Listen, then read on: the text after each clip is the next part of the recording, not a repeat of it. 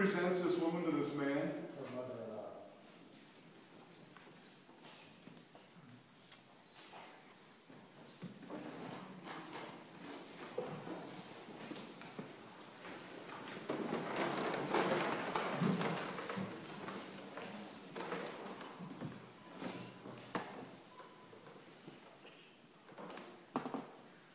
On behalf of James and Kimberly.